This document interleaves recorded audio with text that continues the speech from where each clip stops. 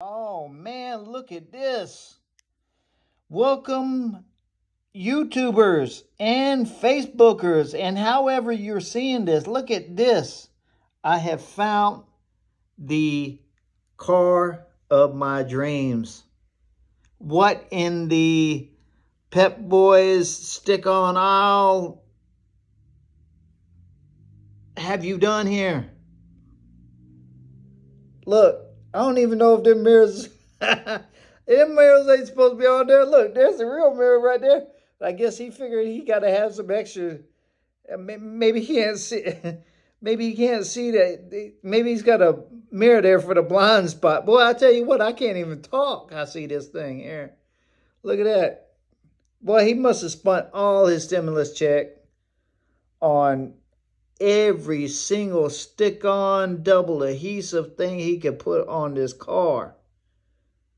Look at that. It, man, that thing even got side pipes. What? What in the world? Uh, what y'all think about this? I don't know. I'm lost for words right here. Look at that. It, man, he's even got a, a double fin on this sucker.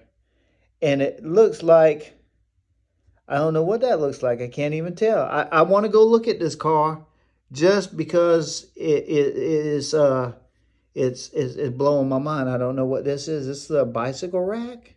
What is that? A bicycle rack? That looks like, that looks, that looks like the fin right there for the actual car, but that looks like a piece of uh, a Porsche Maybe put a Porsche fin on that sucker. Huh?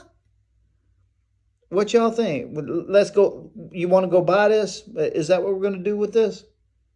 Y'all drop a comment. Let me let me know. Give me a thumbs up. Give me a thumbs down.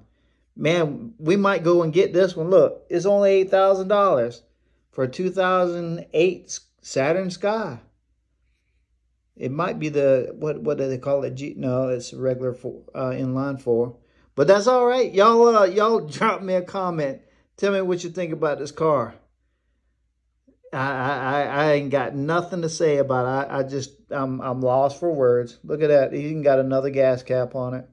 Man, he's got an auxiliary fuel tank on that sucker. You know it's fast, right?